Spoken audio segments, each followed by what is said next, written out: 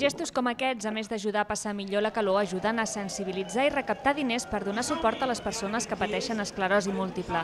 És el mullat que organitza la Fundació Esclerosi Múltiple a més de 600 piscines de tot Catalunya, una trentena d'elles a Barcelona. El Mollet ha significat un canvi garrafal, no? perquè fa 20 anys no hi havia ningú que sapigués que era l'esclerosi múltiple i no érem capaços d'aixecar ni un sol euro per la recerca i ara és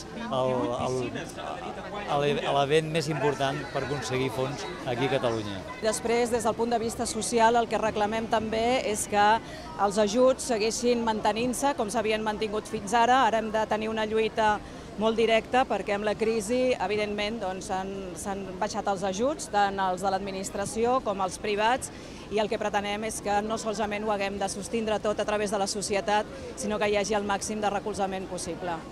Aquesta acció de sensibilització social permet que tothom qui ho vulgui s'acosti a una de les piscines adherides a la campanya per col·laborar en les diferents activitats que s'hi fan o fer un donatiu.